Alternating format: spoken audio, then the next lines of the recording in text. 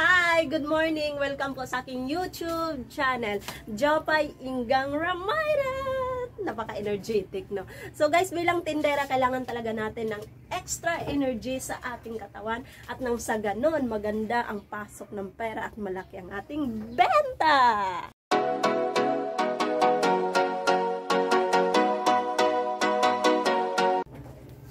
So, yun na nga, ang aking vlog ngayon ay ang aking munting tindahan. Ipapasilip ko po sa inyo mga kapwa kung paano akong nag-o-organize ng aking mga paninda. At yun na nga, so umpisahan na natin. Let's go, samahan nyo na ako. Itutur ko kayo sa aking munting tindahan. So ito na nga po, no? Umpisahan na natin ang ating tindahan tour. Dito tayo mag-umpisa sa parting ito. Um, ayan, ayan po ang aking timbangan. Ayan, dito po sa parting ito ang aking mga condiments. Mga sinigang mix, ginisa mix, mga betchin. Ayan, nandyan hanggang dito. Ayan, mga nor, magic sarap, salabat. At dyan sa gawing yan, andyan po ang aking tuyot, suka. Yan ang suka ko sa may box ng iyon. Ayan. Kaunti na lang ang laman dahil ilang araw na po akong hindi namimili. Yan. Ayan sa baba, yung mga kape na pigtal-pigtal na, yung nakahiwa-hiwalay na. At dito sa parting to, yan, mga juices din po yan, mga tang na nagka hiwa-hiwalay na, kaya sinabit ko na lang po dyan. Ayan, mga Norden, Nor soup, yan, sinigang sa gabi na malalaki, 1 and a half kilo, and mga crispy fry, ayan, at dito sa gawing ito, ay ang aking mga sigarilyo. Yan, marami pa akong stock sa Mighty. Kasi, ayan, sa ilalim niyan, ah. Kasi, rekta po ako ng ahinte. Yan, Malboro. Yan, ayan, may mga pang dessert-dessert din tayo dito. Ayan, may grahams, cheese, cream. Ayan, sama-sama po sila dyan. Sa likod naman, may ano yan dyan, pasta. Ayan, dito. Ayan, bourbon sterilized. Ayan, Oreo, stock ko sa Oreo. Ayan, Ricoa, kape, yan. At dyan sa bandang yan, andyan po ang aking mga gamot. May stock na gamot. Dyan ko po nilalagay. Tinataas ko. Ayan, Lipton. At dito sa gawing ito ay ang mga delikadong paninda. Ayan, dyan ko po nilagay mga baygon, posporo, mga panlinis ng kuko, lighter, battery. Kasi po, kailangan naka-safety siya kasi delikado po sa bata. Eh, may bunso ako 4 years old, baka mamaya di ko mamalayan mapaglaruan. So, dyan ko po nilalagay. Sa parting yan, nandyan po ang aking mga debote. Ayan, mga ketchup. May fesos din po, pangasinan. Ayan, Mang Tomas, yan, nakaboteng patis. Tuyot suka na nakabote. Dito naman sa parting to, ay meron din po akong to this mixed fruit and condense. Ayan, mga dilata, iba't ibang klaseng dilata. Ayan, may coconut milk ako. Ayan, yan. Yan. At yung mga crispy fry, sinabit ko na po dyan. Dahil po dati, nilagay ko po siya sa karton. Nangangamoy po dahil pinaggagapangan ng ipis. So, sinabit ko na lang po dyan. Sa mga, sa ilalim naman yan, nandyan po aking mga kaong, mga palaman ng tinapay, yan, iba't ibang palaman.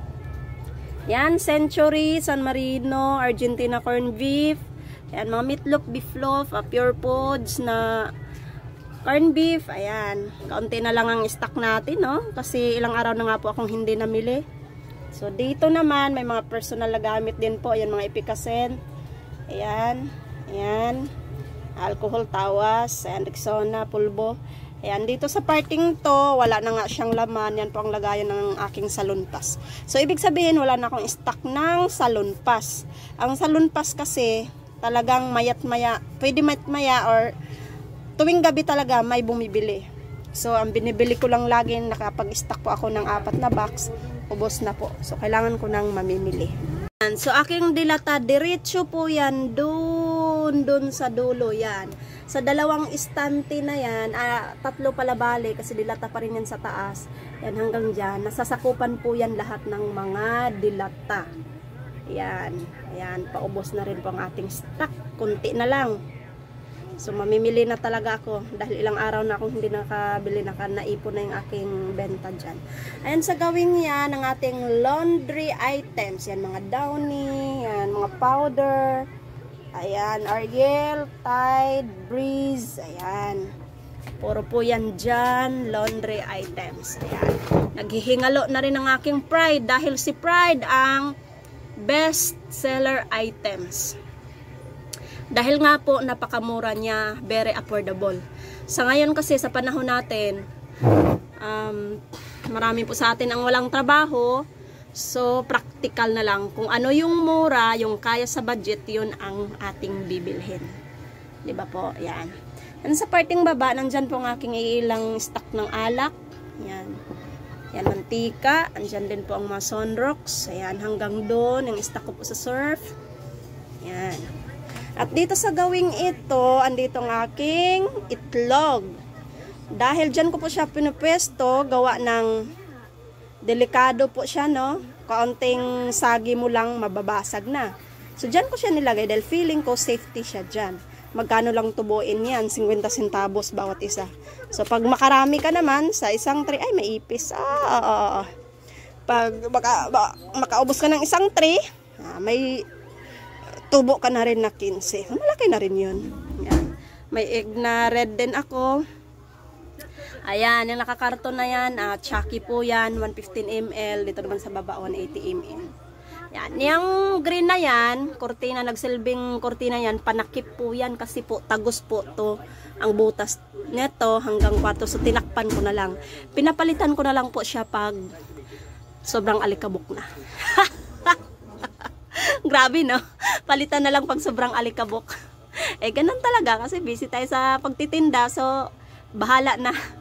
Pag maalikabok na masyado, saka natin papalitan.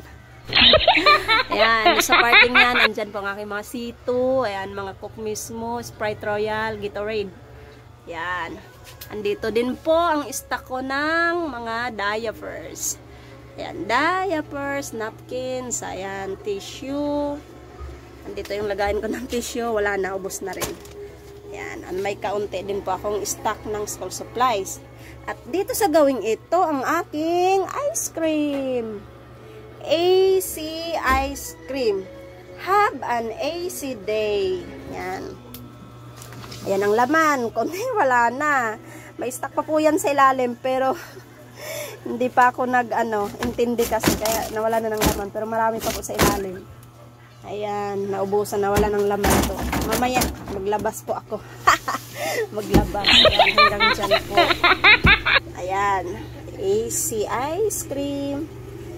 Ayan, uh, one year na rin po ako nag-franchise ng ice cream na to kasi uh, October 26, 2019 ako nag-franchise. So, one year mahigit na. At yun sa gawing yun, ang aking mga chicherya. Ayan, ilan na rin po ang chicherya. Marami na pong wala. Ayan. Ang aking candy corner. Ayan sa babang yan. Uh, wafer biscuit po nakalagay dyan. Pero ubos na rin po. Ito, biscuit corner. Ayan, mga chucheria. Grupo-grupo din po sila dyan. Ayan. Kanina lang po, tinanggal ko po yung mga plastic na mga walang laman. Kaya ayan, kabhang-kabhang na.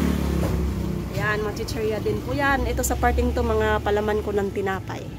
Ayan, para madaling makita, dyan ko po siya nilalagay. At makita din po ng customers agad. Kasi hindi po ta, hindi naman tayo bakery para sadyain nila na bumiling palaman. So pagtingin nila dyan na nakakita sila ng palaman, bibili po yan. Ayan. Ayan, nakagrupo din po ng aking tinapay dyan. Ito lagayan ko rin po ng tinapay ng buns. Ayan. Ang sarap ng tulog ng aking alaga. Alam nyo po, maigi po pag may alaga tayong pusa. Sa may mga tindahan. Promise malaki po ang ambag niyan sa atin bilang may sari-sari store. Ayan. At dyan sa gawin niya ng aking mga panindang nakasampay. Ayan, mga gatas. Ayan, iba't ibang klaseng gatas. Alaska, Bourbon, Birch Tree. Ayan, Milo, mga Milo.